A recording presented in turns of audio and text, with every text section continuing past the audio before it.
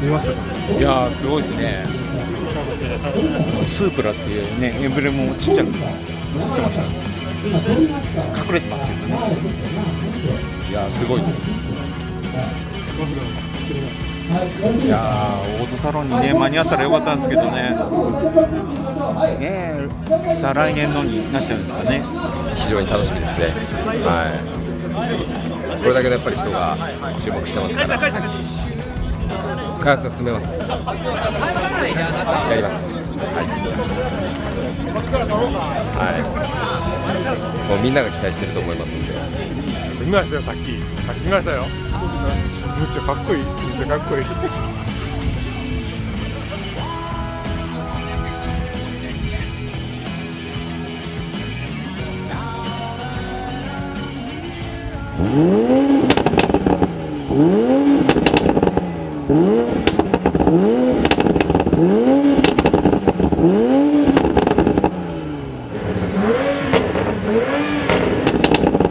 い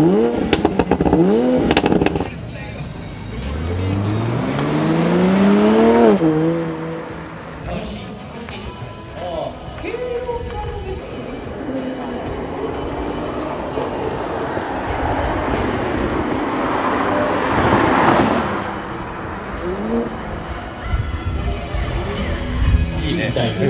見た見た。あの結構ブレーキとかあんまりすごいブレーキとかついてないからこうなんかいじりがいがあるっていうか。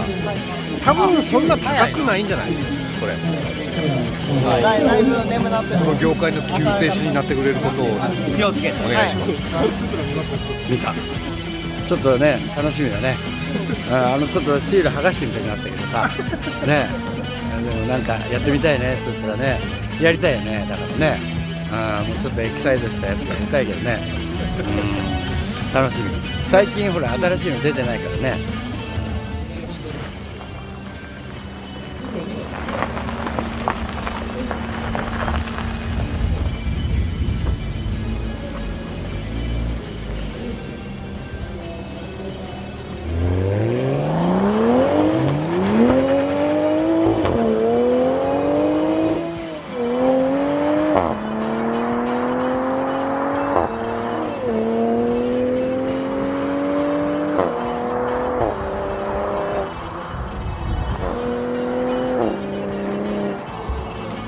スープラいや乗せてくれないからどうでもいいや素晴らしい車ですね。もう本当にね本当にねもう本当にもうぴったりからもう触らせてほしいなみたいなね空気を感じれること自体がもうなんか光栄なんですよね。それがもう広すぎて 見た見た。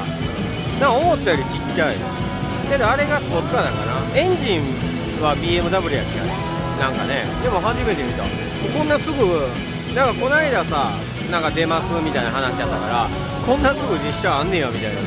驚きのイベントです、